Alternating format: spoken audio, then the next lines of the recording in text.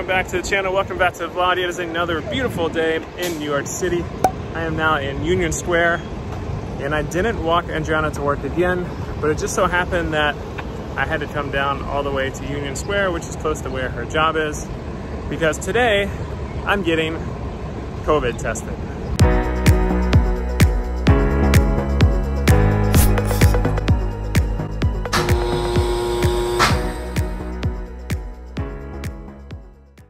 Now I'm actually not experiencing any symptoms at the moment. However, the New York governor, Governor Cuomo, has instilled a mandatory testing and or quarantine for anybody who recently traveled from uh, a few of the high risk states right now. So like Texas, Florida, Arizona, and North Carolina. So instead of me quarantining for 14 days and potentially missing out on two weeks of work as I start my fellowship, the way we get around that is I just go ahead and get a COVID test, which is immediate. And if I come back negative, I don't have to quarantine and I can go to work immediately.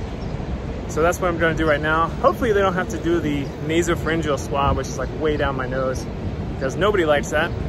But uh, I guess I'll see how it goes now. Well, that was probably the most unpleasant experience ever. All right, so I finished up there. As I said, that was a wildly unpleasant experience. Uh, that's probably what it feels like to have an NG tube in your nose, which is absolutely miserable. And now I feel bad for doing that to my patients. But what can you do? So yeah, they just stuck a pretty thin, long Q-tip up both of my nostrils, twisted it around, and it felt like it was in my brain. But anyways, we got that taken care of. Results come back soon. I'll keep you posted. And I'm gonna go home now and wait for Andriana to get off work.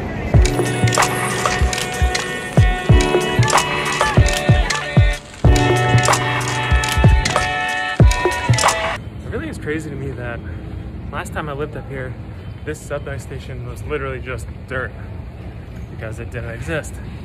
They built it in the last five years or so, which is crazy that all of a sudden you can just decide to build huge, massive subway system underneath an island in a couple years. It's pretty crazy. I don't know, maybe I find stuff like that pretty crazy, but you may not. The amount of thought behind a project like that is just like hard for me to really grasp. So it's really impressive.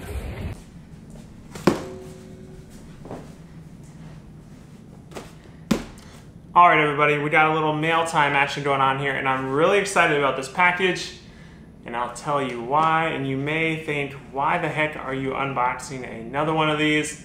Because I thought you already did an entire video on your favorite version of this, and let me explain. But first, let me open this, and we'll get to it.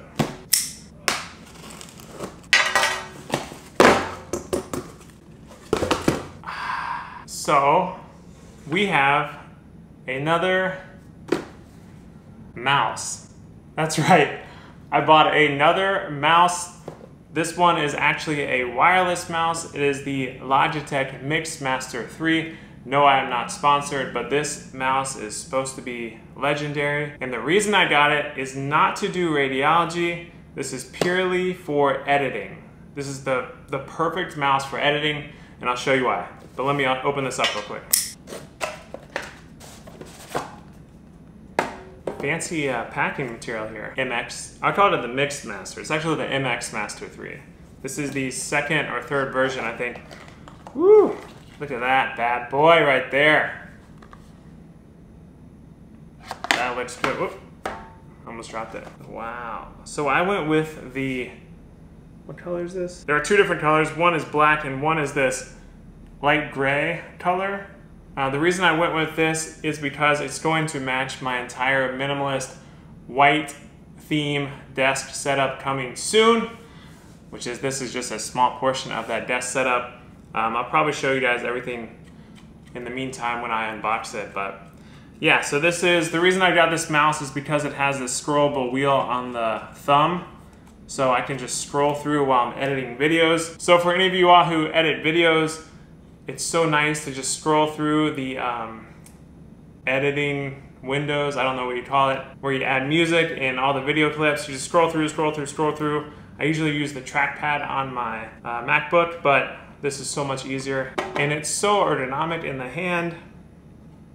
Really a fan of this. It has a small USB port that plugs into your computer. And I think it also comes with a little charger.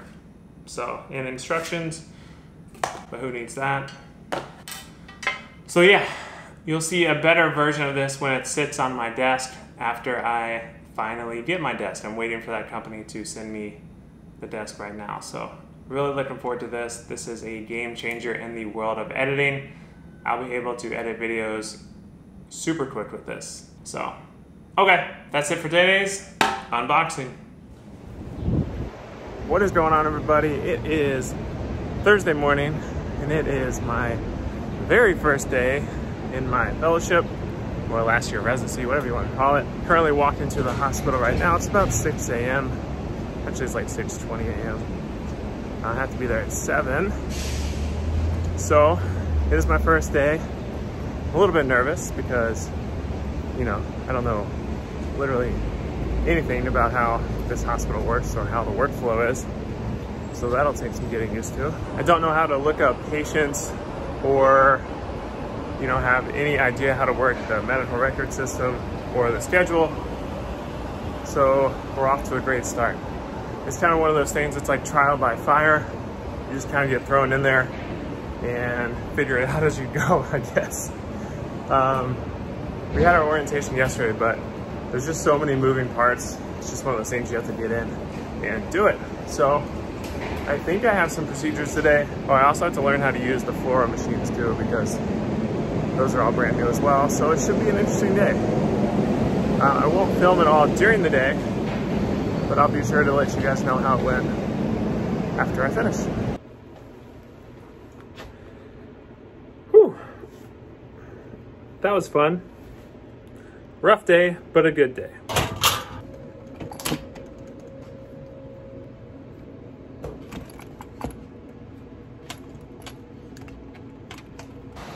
All right, so that officially concludes my first day of fellowship. All I can say is, wow, the learning curve is quite high. I think honestly, it's funny because the easiest part is actually like doing the procedure. And obviously I don't know how to do all these procedures and I'm not like the best ever, but I know how to at least do some parts of these procedures. And that's what I feel the most comfortable about because learning literally everything else seems to be the hardest or the steepest learning curve for me and my co-fellows. And what I mean by that is like the electronic medical record, it's, completely, well, it's the same EMR, but the way we use it is different. The x-ray machines, they use completely different equipment than what I'm used to. Uh, we were a Siemens group in North Carolina, and now I'm learning all Philips stuff. The PACS system is completely different where we look up imaging. The workflow is completely different. Looking up patients, seeing which patients go in each room, learning where the rooms are, learning where the fellow lounges are, learning all the hallways, etc., etc.